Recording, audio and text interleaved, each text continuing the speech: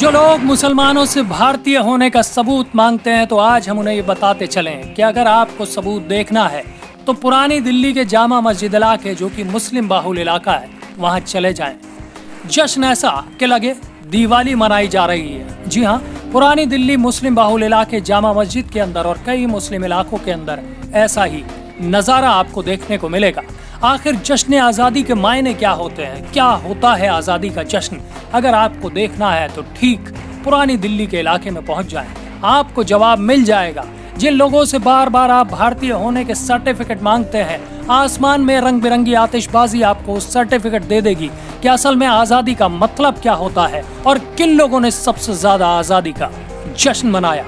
अगर आप चाहते हैं तो जल्दी जाइए। सुबह सुबह प्रधानमंत्री ने लाल किले से भाषण दिया था, लेकिन रात की आतिशबाजी ठीक लाल किले और जामा मस्जिद के आसपास बता रही है कि सबसे ज़्यादा जश्न इस वक्त पुरानी दिल्ली और कई मुस्लिम बहुल इलाकों में मनाया जा रहा है। तो चलिए, आवाजों के साथ सुनिए कि ये धूम धड़ाका उस जश्न का है, जिसके लिए हमारे देश के हज़ारों लाखों लोगों ने कुर्बानियाँ दी थी। और सलाम कीजिए उन्हें, जिनकी वजह से आज आप इस आज़ादी को सेलिब्रेट कर रहे हैं। बने रहें माइनॉरिटी न्यूज़ के साथ।